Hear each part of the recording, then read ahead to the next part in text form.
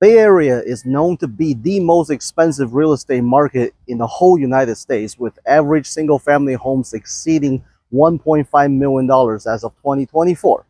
You may wonder, what is the most expensive Bay Area cities in terms of home prices?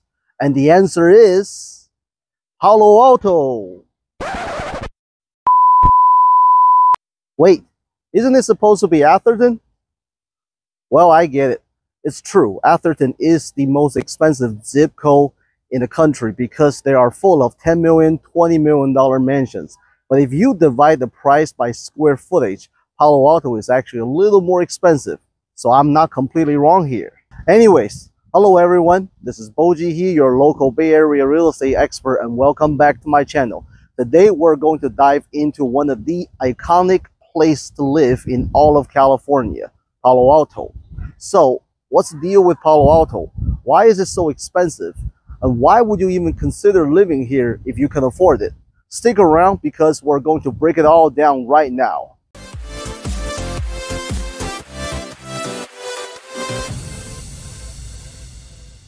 Palo Alto is right in the middle of Silicon Valley, right between Mountain View and Menlo Park. This city is not just close to tech, it is the epicenter of innovation. We're talking about a place where Stanford University meets some of the biggest tech giants in the world. If you're in the tech industry, Palo Alto isn't just a place to live, it's the place to be. The city has a booming local economy and it's not just driven by tech. Sure, you've got Google, Facebook, and Apple just a short drive away, but there's also a thriving local business scenes and some top tier educational institutions such as Stanford University and Sofia University. Just to give you an idea, Stanford University is one of the best private universities in the world, and the average professor's salary is $200,000 plus. Not only that, lots of Bay Area's big tech companies started out as student projects in Stanford or by Stanford grads, such as YouTube, Google, Yahoo, Cisco, HP, VMware, LinkedIn, Snapchat, Instagram, Sun Microsystem, you name it. These examples illustrate Stanford's unique ecosystem that fosters innovation and entrepreneurship, helping student projects grow into globally recognized companies. In other words, Stanford is the cradle of Silicon Valley's tech world. Companies may come and go, but as long as there's Stanford, the next Google, the next Tesla will be born right here again. This is, in my opinion, the main reason that keeps property values sky high around here. This is the place where people want to live, work, and invest. But it's not just about the economy. Palo Alto is synonymous with affluence and prestige. Drive around the city and you'll see some of the most luxurious homes in California tucked behind these iconic leafy streets. The city's reputation attracts not just tech Mongols, but also wealthy individuals from around the world who are looking for elite and sophisticated place to call home. Some of these famous Current residents here include Mark Zuckerberg, Tim Cook, Larry Page, Larry Ellison, Jensen Huang, and a bunch of ex-49ers stars. Tons of celebrities, sports stars, well-known artists, and business and political leaders are from Palo Alto as well.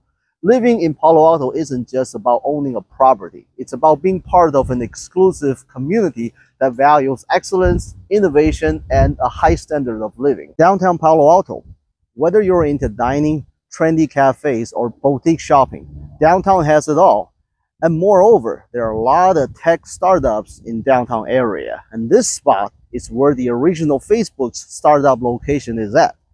And for all of your outdoor enthusiasts, the city has some amazing parks and recreational areas. Plus, you're just a short drive from the coast and the mountains. Depending on your vibe, there's always something to do. The city of Palo Alto comes with many different neighborhoods. For the purpose of this video, I'll bucket them into three regions based on similarity, and they are North Palo Alto, Central Palo Alto, and South Palo Alto. North Palo Alto is everything to the north of Oregon Expressway and east of El Camino. It includes downtown, Crescent Park, Old Palo Alto, and Professorville. It's known as the prestigious hub, the cream of the cream of Palo Alto living. These neighborhoods are known for its historic homes, tree-lined streets, and of course, proximity to Stanford. You'll find homes with unique historic styles such as Victorian, Colonial Revival, Tudor homes. Although many homes here have historic status due to its significance and integrity, these neighborhoods are not designated historic neighborhoods, and therefore, not every home here will have building regulation restrictions. I've made another video talking about historic homes versus new construction homes. Definitely check out that video in my channel to know more about pros and cons of historic homes. Most homes here are big and the bulk of them are going for 5 to 10 million dollars depending on the size and condition averaging 2,000 to $2,200 per square foot. Despite high prices, the rich historic fabric of North Palo Alto region makes it a highly desirable place for those who appreciate classic, well-preserved homes with a deep connection to Palo Alto's history. Central Palo Alto. This part of Palo Alto is everything east to El Camino and between Oregon Expressway and East Meadow Drive. Typical neighborhoods here are Midtown and Palo Verde. This area gave you a nice balance of suburban tranquility with easy access to downtown, the Stanford Shopping Center, Town and Country, Village Shopping Mall, and other happening places. It's perfect for families who want good schools and a strong community feel without being too far from the action. Homes here are pretty standard size for middle-class suburb neighborhoods with a mixture of modern and traditional homes. Home prices here average about $3.5 million. South Palo Alto, the up and coming area. So this is everywhere between the East Meadow Drive and San Antonio Road, as well as everything west to El Camino, except the hills. It includes neighborhoods like Green Meadow, Fair Meadow, Green Acres, Barron Park, and other surrounding areas. Comparing to other parts of Palo Alto, South Palo Alto generally has more retail businesses and condos. There are also some exciting up and coming new developments in the area too. The famous Henry Gunn High School is in this area and they are specially known for their rigorous academic environments and competitive student body. This area is more affordable compared to northern parts. Homes are modest in size with lots of Eichler homes. If you wonder what they are, check out my other video about Eichler homes, link in the description. The average single family home price here is around 3 million to 3.5 million, making it a very sought after areas of Palo Alto. There's also a small community of Palo Alto that goes into the hills of Santa Cruz Mountain. It's called the Palo Alto Hills. It's an exclusive community with private country club, golf clubs, which is very prestigious. All of these regions of Palo Alto have top rated schools from elementary to high school.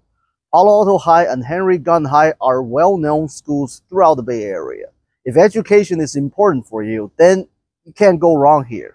Alright, so why is Palo Alto so expensive? It boils down to three things. Demand, scarcity, and prestige. Everyone wants to be here. There's not a lot of lands left to build on, and the city's reputation as a tech and education hub just keep the price climbing.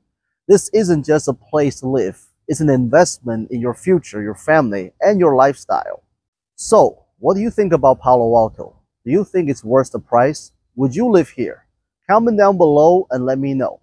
And hey, if you're thinking about making a move, don't forget to hit that subscribe button because I've got more tips and insights coming your way from my channel. Or even better, contact me and let's chat.